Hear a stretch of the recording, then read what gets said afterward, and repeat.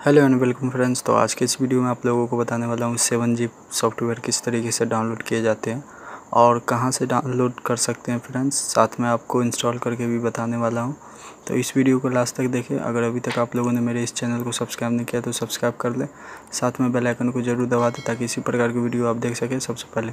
तो आपको Google Chrome को ओपन कर लेना है। तो मैं गूगल क्रोम को ओपन करने के बाद यहाँ पर सर्च बार में आपको टाइप करना है seven zip seven zip type करने के बाद आपको इंटरप्रेस कर देना है।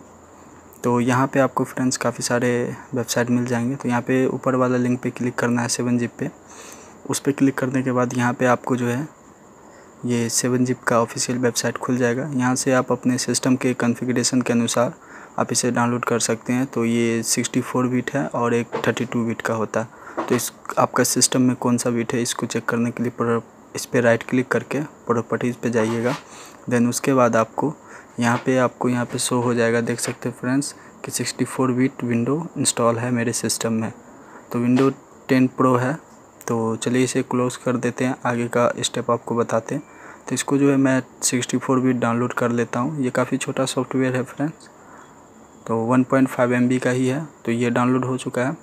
यहीं से मैं फ़ोल्डर को ओपन कर लेता हूँ।